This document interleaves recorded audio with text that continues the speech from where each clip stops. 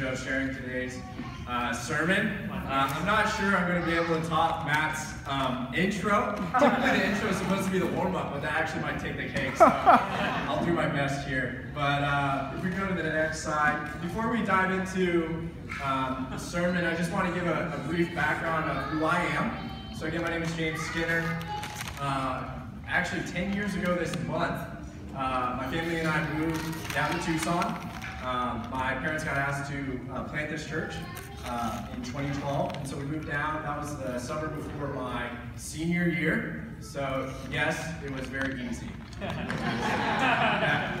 Um, and then, so I spent a year uh, for my senior year, and then I spent a year in Japan, uh, relearning Japanese as well as helping out the church out there, the campus ministry. I came back after that uh, wonderful experience and uh, spent four years at the University of Arizona studying uh, finance, and then shortly after started working at Raytheon, uh, which I am still there, still employed, amen. So, uh, which I'm super, super thankful. I just love Tucson, um, especially this time of year where you know you walk out, it's all like cloudy and it's hot, but then it's like it shouldn't be. It should be a little bit hotter because it's June, but yeah, it's you know kind of like a weird time. But definitely excited and just appreciate the opportunity to speak today. Come on, James. So the uh, the movie that I'm going to be talking about today is Uncharted. As we saw the trailer, I was going to do a movie off of Buzz Lightyear, but it did not do it for me. So I had to call an audible and decided to do a movie that I actually enjoyed. So the movie Uncharted, just a little background before we dive into the meat of the sermon. So it's a story about a guy named Nathan Drake, who's played by Tom Holland, right? Spider-Man. Um, Victor Sullivan, who played by Sully, which is Mark Wahlberg, and then Santiago Moncada, who is played by Antonio Banderas. Um, and these three characters are each in pursuit of lost treasure from a 15th century expedition that was gone wrong. And so that is the premise of the movie. Uh, it's the fifth highest grossing movie of 2022, and it was originally a video game. Um, so there's not a lot of success of video games becoming movies, but this one was actually not too bad. Um, another fun fact, so Mark Wahlberg was actually supposed to be the younger character. Um, because it was, it was supposed to debut in 2009. But unfortunately, time caught up to Mark, and so he had to be the older uh, character in the movie. So we, we pick it up in the story, right? We have these three different uh, characters, and they're all in pursuit of treasure. Uh, mainly, the movie focuses on Nathan and Sully. Uh, Nathan uh, Drake grew up in a, as an orphan, and him and his brother have always had this dream of finding this treasure, in which they're, they're in pursuit of in the movie. Sully, on the other hand, is purely just in it for the money, right? I guess he said it's like five worth five billion dollars, and so he's in pursuit of that. And then obviously Santiago Moncada, his family is the one that sent the expedition in the first place, so he believes it's his family's right for the treasure. So we have three different viewpoints of the treasure, hence we have a classic treasure chase uh, for this movie. Now, if we go to the next slide, one thing as I thought of with this movie, how can I make it spiritual? Right? How, that's always the tough part with these summer blockbusters. You can have a really great movie, but there's just no application to the Bible. So there's no way you can actually make it applicable. True. So when I thought about this uh, movie, one thing that came to mind is my first point is treasure Jesus. Treasure Jesus. As the movie talks about, you have um, Sully and Nate, and they're in pursuit of this treasure. One is for, you know, Sully is doing it for the money. Nate is wanting to avenge his brother's death. So it comes ahead in the movie on which motive is going to last longer, right? Is it the selfish motive of Sully, or is it the really great, heartwarming motive of Nathan? And so we pick it up, if you turn, if you wouldn't mind turning over with me to Matthew chapter 6, verse 19. So I've been going through the um, Sermon on the Mount in my quiet times, and so it's very applicable to me. But we uh, pick it up in verse 19, and Jesus talks about treasure. It says, Do not store up for yourselves treasures on earth, where moths and vermin destroy, and where thieves break in and steal. But store up for yourselves treasures in heaven, where moths and vermin do not destroy, and where thieves do not break in and steal. For where your treasure is, there your heart will be also. Skip down to verse 24. It says, No one can serve two masters. Either you will hate the one and love the other, or you will be devoted to the one and despise the other. You cannot serve both God and money. So, right, the, the setting here, Jesus' Sermon on the Mount. If you haven't read the Sermon on the Mount, I highly recommend it. It's incredibly powerful. So, what, what is Jesus' message in this paragraph? He says, make sure your focus is on treasures in heaven, not in the present. And what, what is Jesus trying to say? He says, He's trying to have us change our perspective. He's trying to tell the group to have their perspective completely changed. To not focus primarily on the present of what's going on and how it can benefit themselves currently, but to be able to have an eternal focus. This whole concept of delayed gratification, right? Assuming if you're a parent, you know all about delayed gratification with your kids. But this concept of sacrificing in the present to be rewarded in the future. Jesus calls us to change our focus and perspective on life. I love it in uh, verse 24 how powerful it is. We'll reread it. It says, No one can serve two masters. Later on in the last sentence, it says, You cannot serve both God and money. Money, money, money. Jesus talks a lot about money. If you've read the Bible, and for good reason. What does money provide? Money provides security. It provides status. Uh, it provides comfort and many other things to the point where if you have a love for money, it can really supplant your love for God.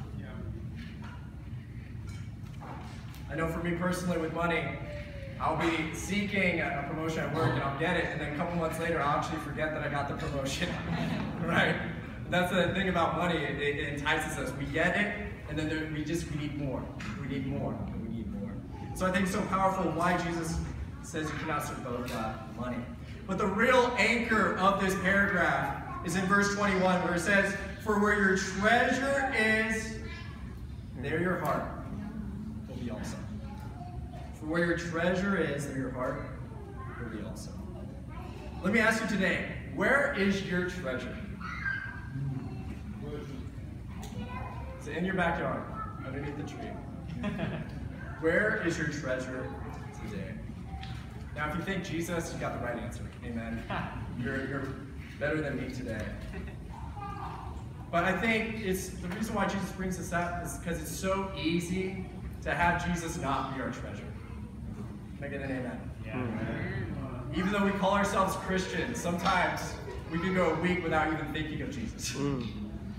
And yet we come on Sunday, and I know I've had this happen to me. I was like, oh, that's what I'm supposed to be doing, right? I'm supposed to really enjoy my relationship with God. And, and I, I can totally relate to this. I know um, this might come as a surprise, but sometimes I don't want to come to church. I know I am a preacher's kid, and so that's like the cardinal sin. You always have to have a great mindset, great attitude, always supportive of church. But to be honest, sometimes I wish we would go back to Zoom, where I could just do the, un, you know, the mute, the no video, just put it in the background. Maybe I could get some chores done, you know, vacuum my room, maybe do some work, right? Just have it in the background instead of being fully engaged. Uh, I think it's very easy for me to prioritize sleep instead of my relationship with God. Uh, to not go the extra mile in reading and really uh, praying and letting God know what is on my heart. I think it's also very easy for me to sit, uh, succumb to self-pity. Woe is me. Um, you know, God, I, have done this for you. You know, you said you're going to reward me. I know you say you're going to reward me in heaven, but what about now? and I can just kind of have this self-pity of like, man, I've done so much for God. God hasn't given me what I wanted or one specific thing. Therefore, I'm going to shut down. Hmm. what ends up happening is when you shut down, you don't prioritize Jesus. You don't prioritize Come on, the treasure you have. Yep. And I think especially now, more than ever before, there are so many things that can take away from us truly treasuring Jesus. Good and bad things, right? It could be activities, hobbies. Uh, it could be dancing, you know, at the Maverick on Thursday night. Whatever it could be. Yeah, let's go. It could take your heart away from Jesus. Let me ask you again, where is your treasure today? Uh, to be honest, this week has been fascinating. Probably fascinating is not the right word, it's been weird. Has anyone ever had a weird week before? Yeah. Um, the, my parents are out of town. My grandma is actually nearing the end of her life. Just got a call today from my dad uh, that she has a couple days left. So she's in hospice right now. And so on Tuesday, I was working and I, I get a FaceTime call from my mom and it's, you know, my grandma on the line. And, I- you know, I haven't really experienced, you know, saying goodbye to a grandparent yet. And so, you know, I'm on FaceTime and I'm having to say my goodbyes to my grandma. Wow. And to be honest, I, I didn't really know what to say. You know, I, I wish I wish I could tell you I had this. Uh, you know, Dom talked about last week the miracle speech. I wish I had this like speech. I was just like earth shattering. Uh, but all I could just come up was just thank you. Right? Just thank you. Thank you for being a part of my life. Thank you for coming to my sports games. Right? Just thank you. And that was it. And I don't know how, but then I was supposed to go back to work and actually be productive. Uh, but it's, just, it's been a really difficult time for the family. I, you know, I hope, um, you know, if you wouldn't mind praying for us, that'd be super helpful. But it, it made me think, you know, if I would switch places with my grandma, right, and I'm at the end of my life, what are the things I'm going to hold dear the most? Right, what, what are things that I'm going to treasure? And as I, as I think that kind of play that exercise, I think one thing is I would really want to make sure that my life has been has been lived in a way in which I am storing up treasure in heaven. Where you know the things I could have probably taken advantage of now, I decided to put Jesus as a priority so that when my time comes, I'm able to be rewarded. You know, and just to be able to have my family surrounded, knowing that, hey, you know, it wasn't the easiest decision to follow Jesus. It wasn't the easiest decision to treasure him, to put him as a priority. But it was worth it. And that's kind of the life that I want to live.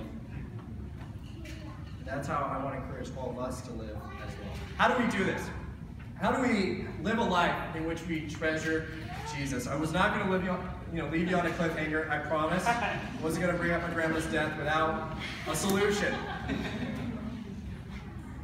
If we, read, if we uh, scroll down later in Matthew chapter 6, the solution is there in verse 33. It says, But seek first his kingdom and his righteousness, and all these things will be given to you as well. All these things And I think that's the solution, seeking God and his kingdom. Putting Jesus as a priority. What, what does this look look like practically? I think it's setting aside time to really connect with Jesus, whether it's a quiet time, whether it's on a walk. Um, I think uh, practicing basic Christianity, whether it be fasting, praying, meditating. I think that first and foremost, you've got to make him a priority. And then make also the church a priority. And make giving to others a priority. And I, think that's what Jesus is trying to get here in this, this paragraph. He's wanting us to have a, a, a to really shift our focus on not what can really benefit me now, but what can benefit others and benefit me later on down the line. So, church, let us treasure Jesus and really put him as a priority. Amen? Amen. Second point treasure the journey. Treasure the journey. So, in the movie, as you can probably imagine, um, treasure hunting is, is a description that's not on the normal um, Indeed profile or LinkedIn, right? so you get some characters that aren't the straight and narrow. And the way the movie is set up, it's not that they find a clue and it's a straight path to the treasure, right? There's a lot of lefts and rights, backstabbing, mistrust. They go to this country, nope, the church is not there. They go to another place, maybe, right? It's a real windy movie. And in the same way, our lives can be that way. Life is very messy. Can I get an amen? Very, very messy. And maybe if you're sitting there, you're probably thinking, you know what, James, I get you. You know, you're Rob's son. Telling me to treasure Jesus. That's great. That's good for you. You know, you're a young whippersnapper. Good for you. But you don't know my situation. Mm. You, you don't know what I'm going through. And, and to be honest, I don't. You're, you're spot on. But I think we can easily be discouraged and not do anything.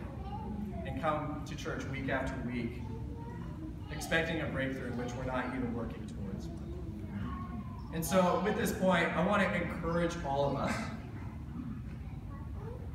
to continue to enjoy your current situation. Let's turn over to Galatians 6. Let's go, James. Come on, bro.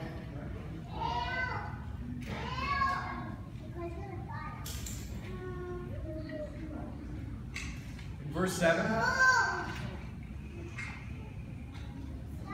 It says, Do not be deceived. God cannot be mocked.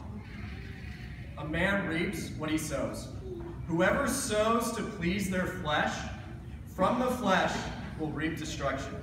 Whoever sows to please the Spirit, from the Spirit will reap eternal life. Let us not become weary in doing good. For at the proper time, we will reap a harvest if we do not give up. Therefore, as we have opportunity, let us do good to all people, especially to those who belong to the family of believers.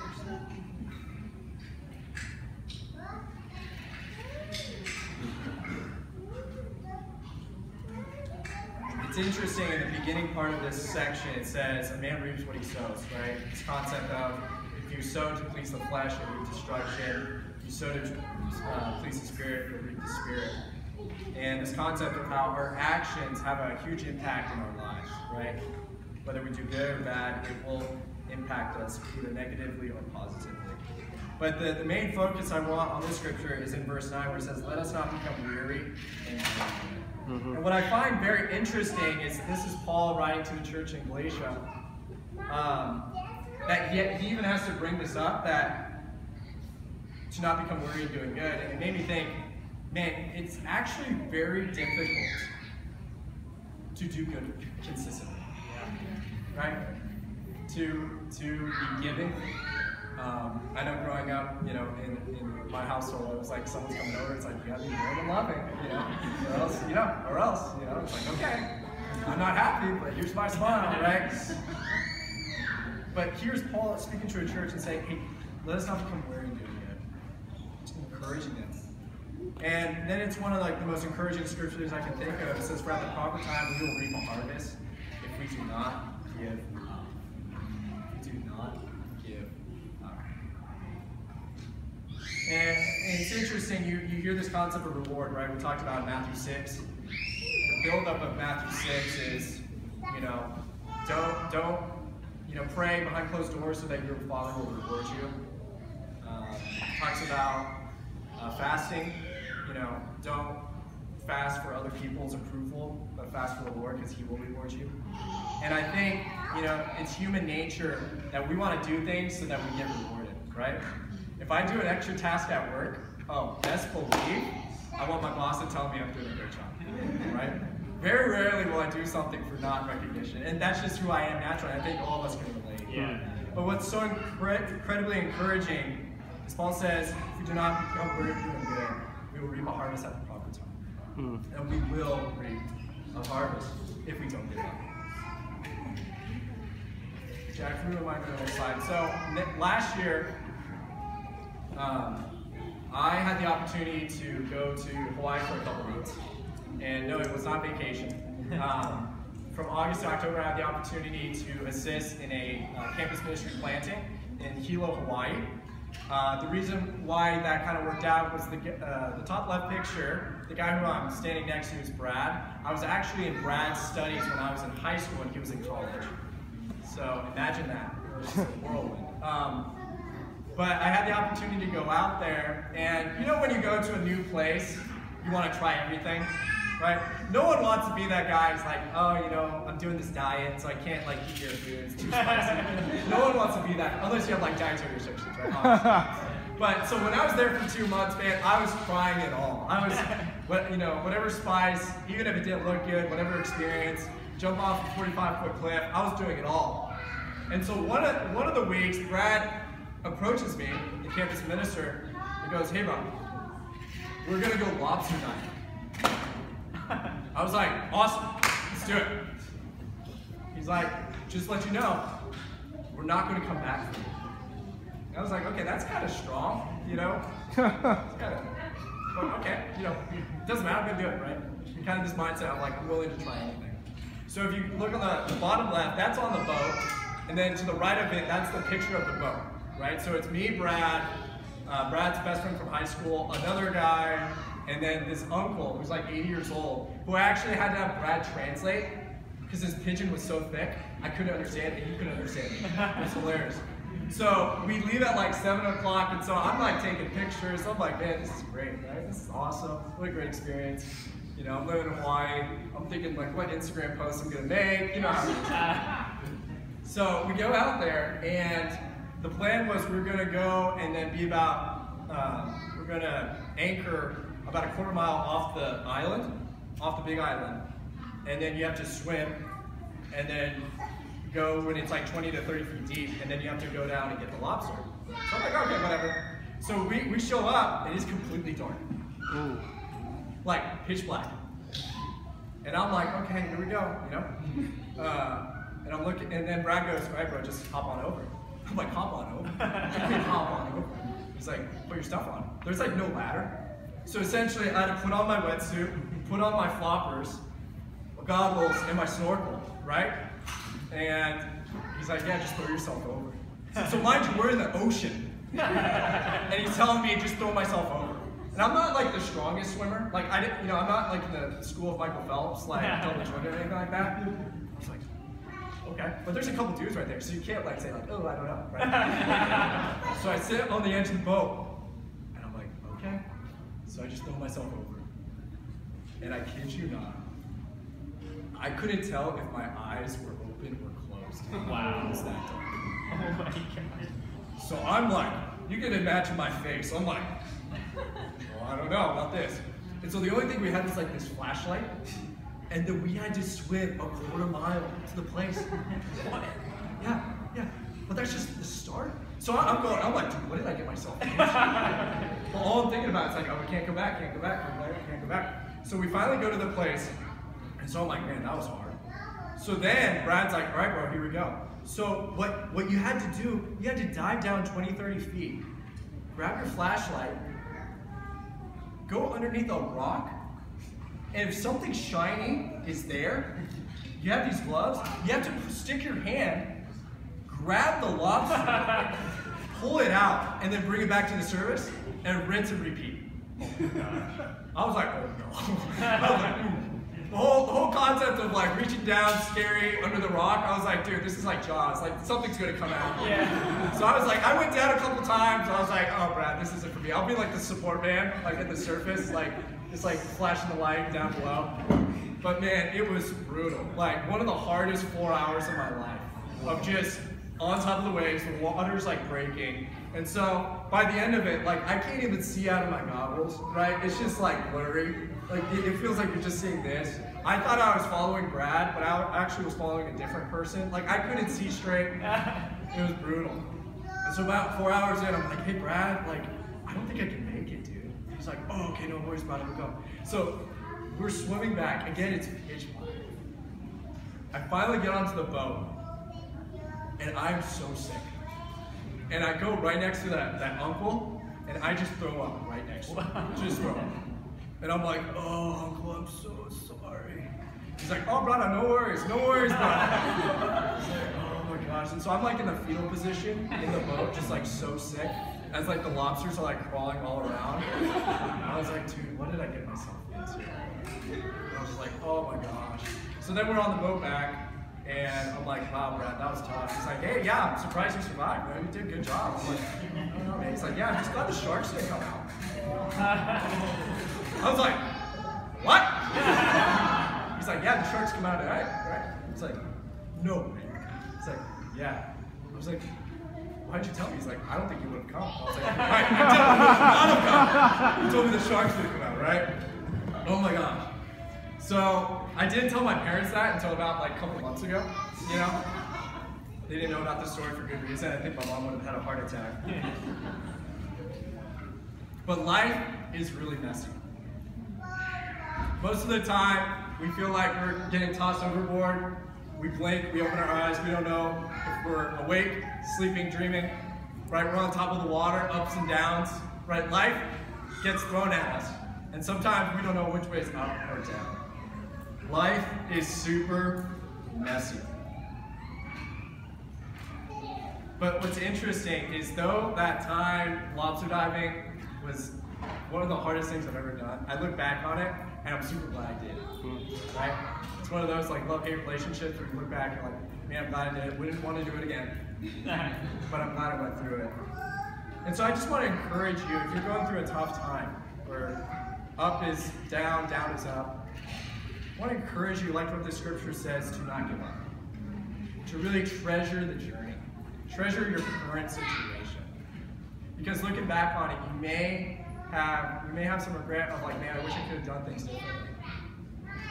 But I think it's really important that we can really enjoy life right now and try to make the most of it and try to learn of what God is trying to teach us during this time. Even though sometimes doing good is the last thing you want to do, right? And, I, and what I really enjoy about this church is there are so many good examples of people who continue to do good even when it's difficult. I think about Chris McLean, who just had a stroke, still comes to church. I'm just like, man, if I have a sprained ankle, I'm on like the questionable report, you know, like fantasy football. I'm like, game time decision. Not sure I can make it. Yet this guy, this man literally had a stroke and literally still comes to church. Wow. I'm just like so blown away by his faith. I really appreciate uh, Dennis and Patricia. Uh, the way that they um, wrap their arms around their family group, their Yep. big love. And when I talk to other people in their family group, it's just you can sense how much they feel loved by them. Um, and it's also like the big hugs I get from Dennis that I feel like will never end on Sundays as well. Um, I think about the Browns. I think about the Floreses. Uh, Matt just hosted a, uh guys poker night a couple weeks back. I was not the last person to, you know, I wasn't the first person to lose. So that's always my goal. It's always my goal. I, I, I know I'm going to lose my money every single time, but as long as I'm not the first person to lose, that's my goal. But Matt and Rachel have such giving hearts to continue to good, do good. I think about Dan Burke, and Dan is such a servant. He's got like one of the biggest servant's hearts that I know. How he continues to love people, continues to encourage me in my walk. God. Uh, it just really makes me thankful that I get to be a part of this church in which people are not just talking it, but really walking it in their faith with God. So in conclusion, what can we get out of it? Let's let's listen to Jesus and what he talks about in the treasure. And value him. Treasure Jesus. Value things that can impact eternally, not just in the present. Amen. Let's also let's be encouraged by Paul to carry on in doing good even when it's difficult, since we will reap a harvest if we don't give up. Here are some next steps. Study the Bible with someone this week to treasure Jesus. If you're not sure where to start, just ask someone who uh, brought you to church. They'll be more than willing to help you, uh, help you in your faith in your walk with God. Next is meditate on a time where you did good and it benefited someone else. I think it's very easy to for us to focus on the negative side of ourselves, the ways we're falling short. I know it's easy for me, but I want to encourage you to meditate on a time where something positive happened and how it benefited someone else. And lastly, come back next week as we continue our summer blockbuster series. Tucson Church of Christ, thank you so much for having me share.